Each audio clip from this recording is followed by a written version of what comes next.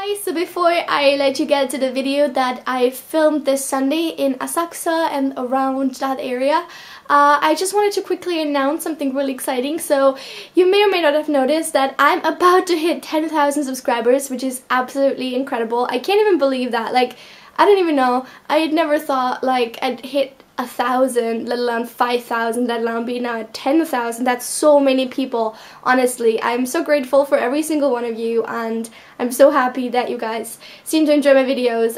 For that occasion, I wanted to do a little Q&A. I get questions that a lot of the times just like repeat themselves because they're very similar, and so I thought it would be a nice idea to just sort of put them together collectively in one place. If you guys have any questions, please leave them in the comments down below, or if you don't have a YouTube account, you can also tweet me on Twitter at ResaxX or leave a comment on my Instagram at IvyMuse with two E's. I will put a photo up very soon, as soon as this video is up basically, uh, where you can leave your questions in the comment section basically. So yeah, that's it. I'm gonna let you get to the video now. I hope you enjoyed and I hope you have tons of questions that I'm gonna be able to answer. So again, thank you so much for almost 10,000 of you and I'm gonna see you soon.